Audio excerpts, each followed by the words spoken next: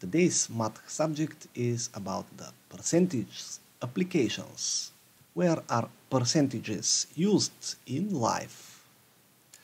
Okay, use this board to calculate various percent percentages when it is needed. Learn where percentages is used. Okay, so we have one, two, three, four, five, at least five applica applications of percentages. The first one is when we have a discount. In some supermarkets you can see goods with discount. And what will that mean? Let me see. I will type the first price of the product. If I want to buy a gaming chair and its price is $215 I will type the discount percentage. Let's say they are giving 25% discount on that chair. That should mean that this chair will cost me $161.25. And here is how to calculate this. Divide the big number by 100, then multiply by the percentage. Subtract the result to the big number and we will have the discount. The next application of percentages is when we have a bonus for let's say a quantity and here we see in the store a, a waffle that uh, that is 25 grams right and if they give a bonus to that waffle quantity let's say 10% we are getting a waffle with 27 grams to eat. Or this is divide the big number by 100 then multiply by the percentage.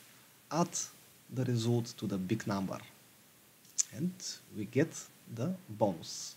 This is the quantity with the bonus of the waffle or the pecks let's say 25 grams of pecks with 10% bonus is 27.5 gram of pecks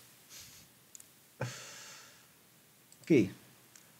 Next application of percentages is when we are making a deposit. This is for grown kids that want to get something from their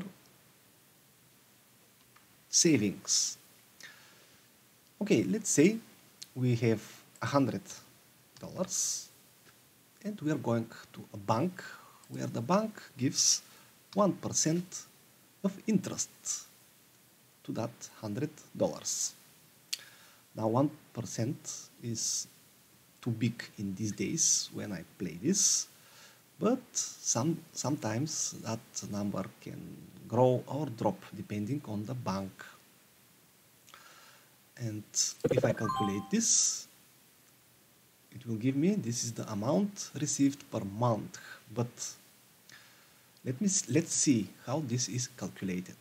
First, the banks are giving the percentages in for for the year this is an annual percentage so what we need to do is divide the big number by 100 then multiply by the percentage and then divide the result by 12 because there are 12 months in the year and that will give me the exact number of money that I will get per month. This is 8 cents. 8 cents for candies, right? So, next application of percentages is with loans. This is the opposite of deposits. I'll calculate the final loan return value. Let's say we want to borrow to get $200 from someone which want we to return it with 20% of uh, interest, but this is opposite interest.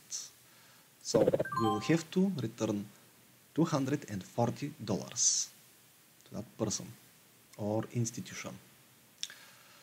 The loans may vary with percentages and they can reach up to 50 and more, so be careful with loans.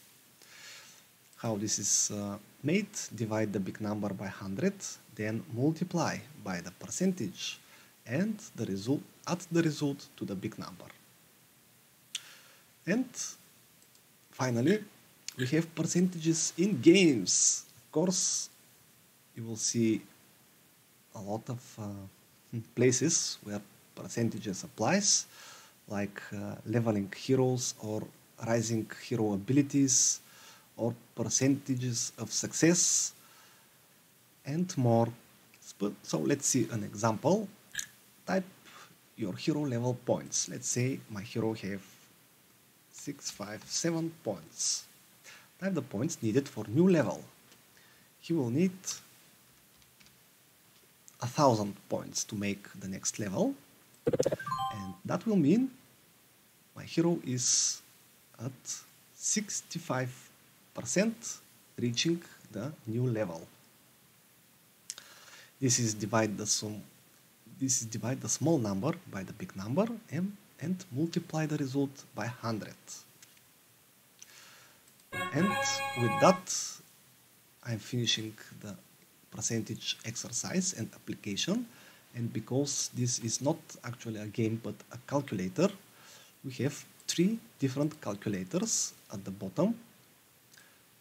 It is situated in the math calculators on the Planeta 42 website where I can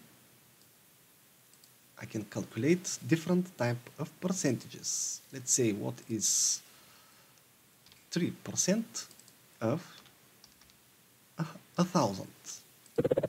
That should be 30. The next type of calculator is, let's say 21 is what percent of 100 that should be 2.1 and the third one is let's say 678 is 3% of and this is the number that 3% should be 678 of it. Ah. So this is the knowledge dosage for today and until new meetings.